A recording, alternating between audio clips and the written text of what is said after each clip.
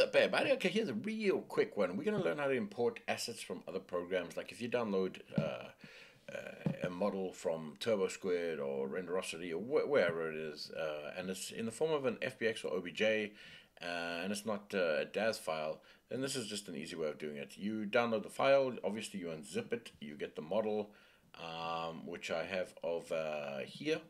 So I've got the Fork FBX. This is one of mine. I'll put the link down below. You can use it to test this out or use it in your works, whatever. I don't care.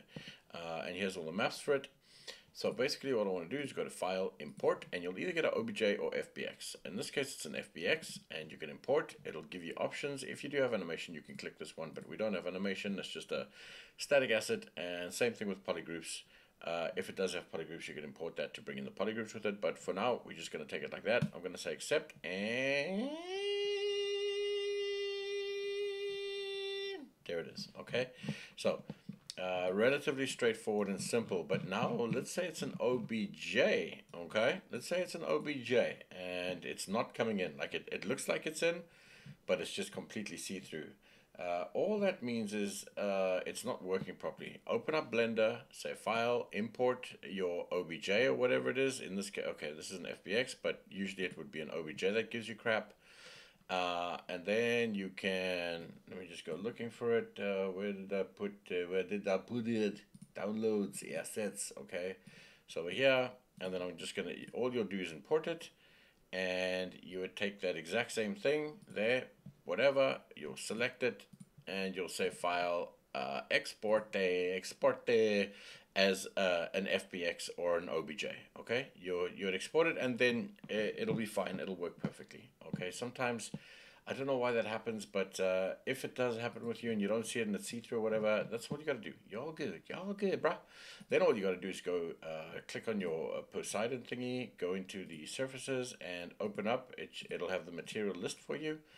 And then it's all good. It's all good. There's the base color. You can just drop it straight into base color and you can start seeing what's happening. Uh, emissive, if you've got emissive, fine, or good or whatever. And and it's the same with all the other maps. Okay, so we've got emissive, we've got height, we've got metal. If if it's not there, don't worry about it. It's it's all good. Uh, it's it's fine, you know. you can convert maps, but I'm not going to get into that right now.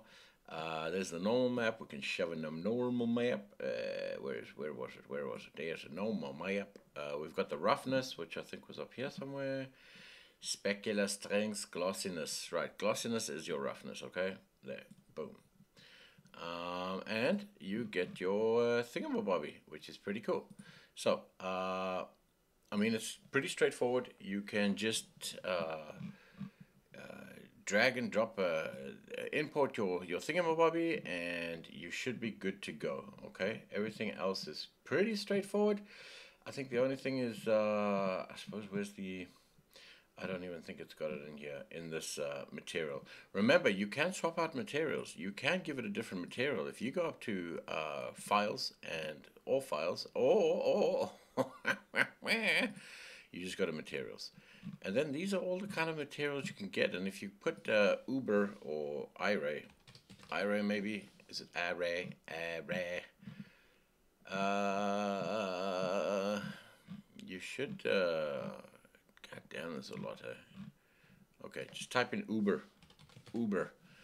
Uh, oh, come on, man. Are you kidding me? Just just give me that. Oh, no. Okay, then this must be somewhere else. So let's uh, show in assets. Browse to file like Cachois. Ach, Mensch, Mensch. What about here? If I go to materials over here, uh, materials, material.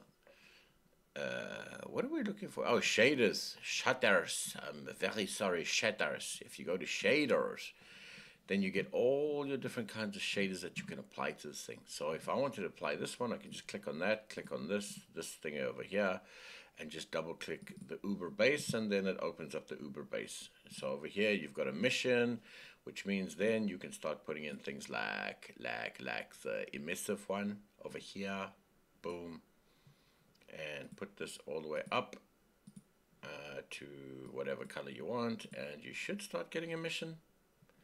There we go. So you start getting kind of a, ach mensch. you start getting emission on your on your thing, emission temperature, and you can start getting all the little glows and stuff, luminance, boom. You can start bumping up your luminance and all that kind of stuff, and then you'll start getting your glows and stuff. Okay, so uh, very straightforward. All you got to do is just uh, bump it up, bump it up a lot. Um, uh, import your thing in my Bobby, okay? Import your object, and then you can just drag and drop the materials in the right place. Go to your surfaces, drag and drop your your materials, and I don't know why this isn't working. Why isn't this working? Anyone? Anyone? Can anyone give me a clear answer? Why this ain't working? Okay. I mean, I got my damn emission. We got them damn emission. Uh, why ain't that? Uh, why ain't that working? Uh, oh, because there is no emission. All right, if I put in a different map, there we go. Okay, so it is working, uh, but my emissive map has got nothing on it. Right, people, so I hope that helps. Even if it's an FBX with joints, if you've got a character from another place, you can import that entire FBX and it's fine. You can still rotate the joints and do whatever you want with it in the parameter section. You can still do all of the joints, click a joint, rotate, all this kind of stuff. Uh, it's not going to have the IK or anything, but, uh, you know, you could set all of that up, but that's a whole new ball game, people. That's a whole new go, people. Right, I hope this helps, and uh, thanks for watching, and I'll speak to you later. Bye, guys.